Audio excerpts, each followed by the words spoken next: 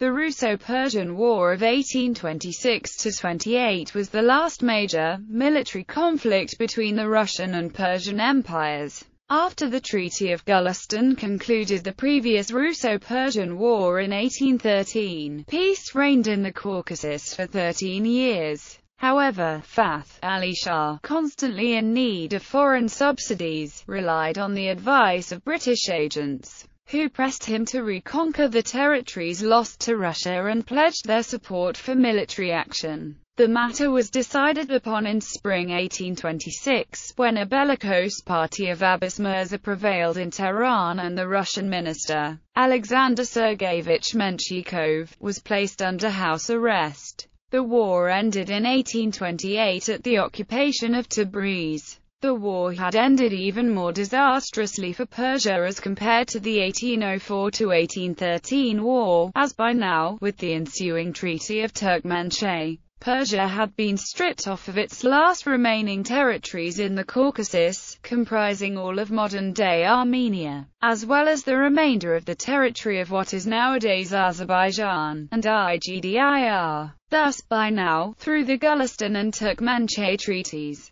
Persia had irrevocably lost all its integral territories in Transcaucasia and parts of the North Caucasus, comprising eastern Georgia, Dagestan, Armenia, and the Azerbaijan Republic to neighboring Imperial Russia. The war marked the end of the era of the Russo-Persian Wars, with Russia now being the absolute and unquestionable dominant power in the Caucasus. Persia was forced to irrevocably cede swaths of its territories, which would forever be lost. The conquered territories now went for about 180 years through a Russian-dominated era, except Dagestan, which remained a Russian possession ever since. In 1991, through the dissolution of the USSR, out of the bulk of the territories the modern states of Georgia, Azerbaijan, and Armenia would be established. Lastly and equally important, as a direct result of the two Russo-Persian wars of the 19th century and Russia's imposing of the Gulistan and Turkmenchay treaties,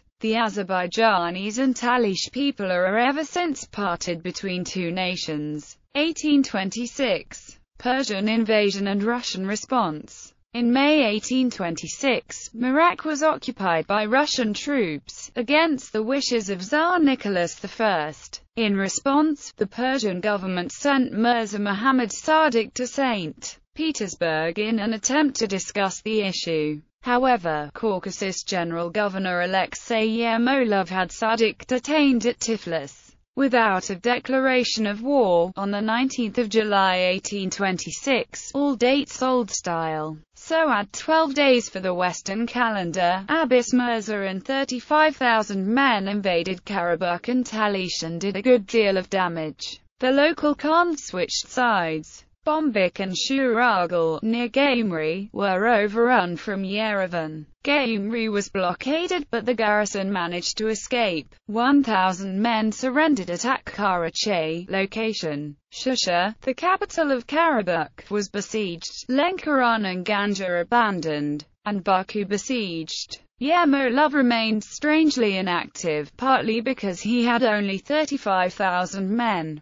He asked for more. Nicholas sent one division and six regiments of Don Cossack cavalry and told Yermolov to invade the Yerevan Khanate. Yermolov replied that this was impossible and Nicholas replied by sending out Ivan Paskevich. This roused Yermolov who sent Valerian Madatov south with instructions not to risk a major battle. Madatov disobeyed and on the 2nd of September he and 2,000 men defeated 10,000 Persians and relieved the siege of Shusha. The Russians re-entered Ganja. The reinforcements arrived, as did Paskevich who took command of the army from Yermolov. On 14 September he routed an estimated 60,000 Persians on the Akstafa River 18 miles west of Ganja. 1827. Russian counter-invasion and victory Yermolov's position was now untenable and on 28 March 1827 he turned over all his powers to Paskevich.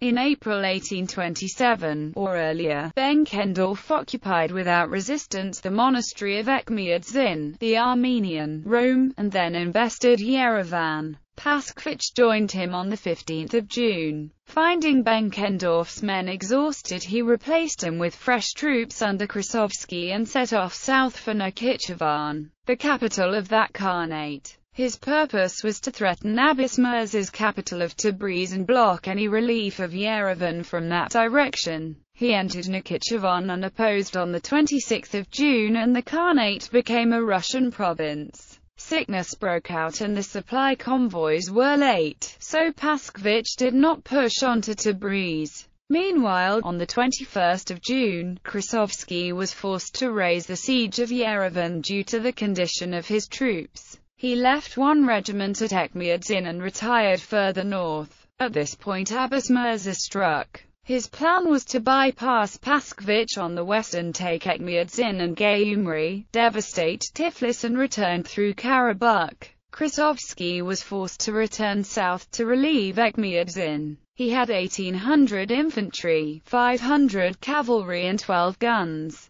The distance was only 33 kilometers but the terrain was difficult, the heat was terrible and 30,000 Persians blocked the way. At the Battle of Ashtarak the Russians cut their way through and relieved Etchmiadzin at the cost of half their number. The Persians withdrew south with a loss of only 400 men. It is said that if Krasovsky had not garrisoned the monastery, he could have met Abbas Mirza on ground of his own choosing. But the thing was done and it worked. When word reached Paskevich he abandoned any plans to move south and return to Etchmiadzin. Moving east he captured the fort of Serdar Abad and on 23 September appeared before the walls of Yerevan. Much of the siege work was directed by Pushchin, a former engineer officer who had been reduced to the ranks for involvement with the Decembrists. When the place fell he was promoted to non-commissioned officer. Yerevan fell on 2 October. 4,000 prisoners and 49 guns were taken and the Yerevan Khanate became a Russian province. When Paskevich left Nakhichevan he entrusted the area to Prince Eristov, a Georgian, with Muraviev as his lieutenant. He gave them strict instructions to merely guard the province and make no aggressive move. Abbas Mirza did the obvious thing. Crossing the Eris unopposed he found himself facing Eristov with 4,000 men and 26 guns, far more than he expected. Abbas withdrew, Eristov chased him for a while and returned to Nakhichevan. So far they were within their orders. When they heard that the Persian army was in a state of complete demoralization the temptation was too great. Setting off on the 30th of September they reached a place called Murad. Abbas got behind them. But when news of the fall of Yerevan reached them the Persian army was seized with panic and dispersed. Muraviev now chose to be bold, or foolish. Concealing his plans from everyone including Eristov he left Murad on the 11th of October and headed south. By the 13th of October they were a few miles from Tabriz. The garrison fled, driven out, it is said, by the inhabitants. The gates were opened and the ancient and wealthy city of 60,000 inhabitants was occupied without opposition. On the 19th of October Paskevich entered Tabriz with 15,000 men. Peace negotiations began immediately, but dragged on. Fighting resumed in January but the Persian army was too demoralized to fight. Urmia was occupied and Ardabil opened its gates. The Treaty of Turkmenchay was signed on 10 February 1828, giving the two Armenian Khanates of Yerevan and Nakhichevan to Russia. On 20 March 1828 Paskevich learned that Russia was now at war with Turkey. Aftermath by the Turkmenchay Treaty, Russia completed the conquering of all Caucasian territories from Iran, having previously gained Georgia, Dagestan, and most of contemporary Azerbaijan through the 1813 Treaty of Gulistan. According to the terms of this treaty, the Khanate of Yerevan and Nakhichevan passed to Russia, encompassing modern-day Armenia and the remaining part of the contemporary Azerbaijan Republic that still remained in Iranian hands, as well as a small part of eastern Anatolia, namely IGDIR. The Shah promised to pay an indemnity of 20 million silver rubles and allowed his Armenian subjects to migrate to Russian territory without any hindrance. This were to cause significant demographic shifts in the Caucasus as well as within the newly established borders of Iran, especially as the effects were combined with the Treaty of Adrianople of a year later. More importantly,